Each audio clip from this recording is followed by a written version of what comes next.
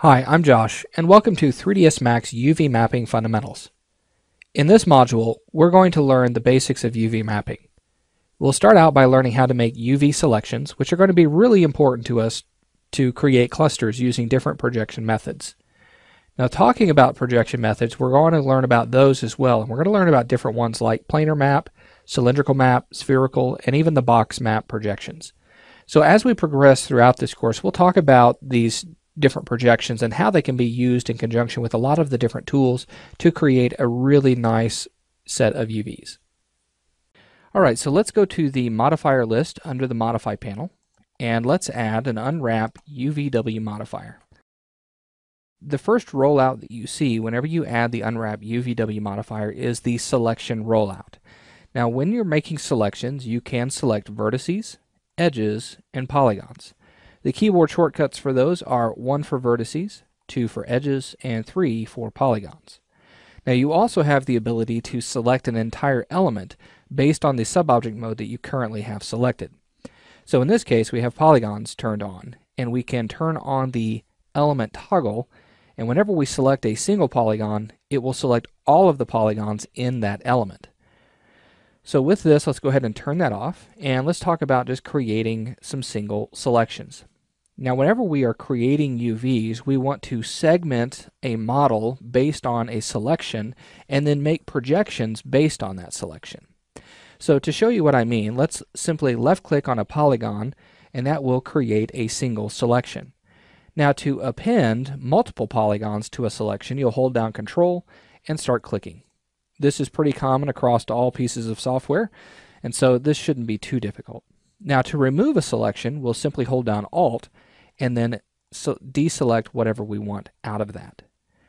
Now we can also convert selections. So what this means is if I were to go to vertex mode and select a single vertex on my UV, with that selected I can hold down control and then switch to any subobject mode and it will select the subobjects that were touching the previous selection that we had. So in this case, we had a single vertex we held down control and switched to polygon mode, and it selected all of the polygons that were attached to that single vertex. So this is a great way to create selections very, very quickly. So now that we know how to uh, append and remove and then also convert selections, let's talk about using the region selection. Now region selection is pretty common. It's just by are done by holding down the left mouse button and then dragging and anything that is touching that region will be selected. Now the only downside to using this by default is it will ignore the back facing through this. Now this may be something that you would want, but if you want it to select all the way through, as I intended it to do, you'll need to turn off ignore back facing. With that turned off, let's do that same selection again, and you'll see it now selects all the way through. So now let's talk about growing and shrinking our selections. With this current selection, we can simply hit grow and it will expand the selection by one unit of the current subobject mode. So in this case, it's expanding out one polygon based on our selection. Okay. Now we could also shrink that selection. It will give us the inverse effect. Now anytime that you shrink to where you have no more selections, you can no longer grow. Okay. Now after using the grow function, we have these two functions that are grayed out, and this is loop and ring. Now these can only be used under edge mode. So if I were to select a single edge and then hit loop, it will select that entire loop of edges going all the way through the model. If we did the same thing and hit ring, it would select the parallel edges. Now there are some very handy keyboard shortcuts or quick ways of creating loop selections and ring selections. To create a loop selection very quickly, just simply double click on the edge in that loop and it will select it all the way around. Now if you were to select one and then hold down shift and then select the next edge in that ring, it will go ahead and select the entire ring that way.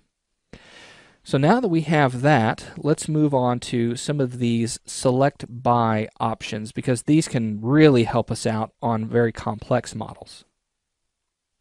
The first one we've already seen, ignore backfacing. Let's go ahead and leave that off. Let's move over to the point-to-point -point selection. This works with edge mode. So seeing how we have edge mode already turned on, let's deselect just by clicking out here um, in empty space and then turn on point-to-point -point edge selection. What this will do is allow you to select a single point and then move across to another point and make a selection. Instead of control clicking all of those edges all the way through, this is a great way to just get the uh, edge loop that you're wanting to a certain extent. So I'm going to go from this point to this point. It shows you a preview, and then after you have completed that selection, it will go ahead and create that. So let's go ahead and right click, and then let's deselect just by uh, clicking outside of this. There we go. Now you'll have to turn off that point to point in order for that to disappear or deselect. So if you're having trouble with that, continue to right click until this turns off, or just simply left click on this and turn it off that way. Now point to point does work beyond just going from one point in a loop to another. You can actually select a point up here and then you could come all the way down and it will make the shortest selection based on this. Now if this is something that you want, you can kind of preview what that looks like or you can go to here and you can kind of modify how it gets to that point. So this can be very helpful. And again, this is really helpful for complex models. Let's go ahead and right click to end that and then turn it off. Let's move over to our next one, and this is select by uh, planar angle, and this is done through the polygon mode. So hit 3 on the keyboard, and what this does is whenever we activate it, any polygon that we select it will go ahead and select any adjacent polygons to that based on the angle threshold. So if I were to select this polygon, you'll see that it doesn't actually select anything else. And that's because the adjacent angles of the polygons are greater than 15 degrees.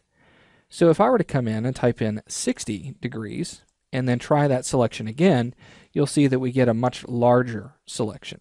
Now this can be really, really good for us on complex models. I like to use this on on faces that are very planar and I have a lot of polygons that I need to um, select. Now, to turn this off, we'll just simply deactivate that. Let's move over to our next one, and this is by selecting by smoothing group. Now, you need to make sure that you have smoothing groups set up on your model currently for this to work. The way that it works is you just specify what smoothing group you want to select and then just simply hit select by smoothing group and it will automatically select those polygons. Now on this model itself there's just a single smoothing group. Now we're not going to go over creating smoothing groups but this can be helpful. Now let's talk about the final piece that we have in this and this is selecting by symmetry. Now with this, let's deselect all of our polygons and I'm going to turn on symmetry geometry selection. You'll notice this blue gizmo that shows up. This is the point of mirroring or symmetry. And you can change the direction of this plane by switching the mirror axis. So in this case, we could switch it to Y or we could switch it to Z. Now, whenever you're using this, if you were to select a single polygon above that plane, it will select the one below it based on the axis that you have chosen. So let's go to X. Let's make that same selection. You'll see how that changes there. And I can hold down control and I can select all of these. Okay, and it gives me a perfectly symmetrical selection.